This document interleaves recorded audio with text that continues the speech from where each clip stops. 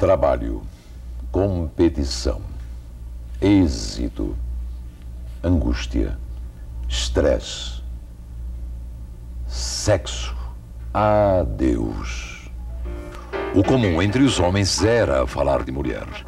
De acordo com a revista espanhola Cambio 16, não apenas a conversa e os impulsos estão diminuindo, a prática também. O transtorno se chama astenia sexual.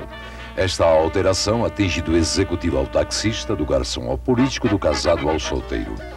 O macho do final dos 80 deixa de ser o mais dotado na cama para ser o mais dotado na hierarquia.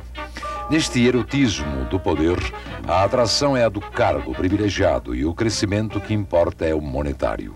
Não se trata de indiferença à atividade básica da vida, mas excesso de outras atividades para escapar do sexo que, garante a publicação, angustia este novo homem.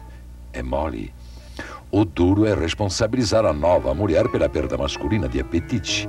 Como o sexo frágil sou irônico agora, não? A cura existe, desde que esteja explícito para o enfermo que a causa é a preocupação com o desempenho ante as exigências sociais. E que o sexo também dá prazer.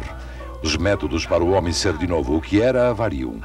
Aumentar o descanso e segurar a obsessão pelo trabalho é elementar. Médico, psiquiatra, psicoanalista, sexólogo ajudam.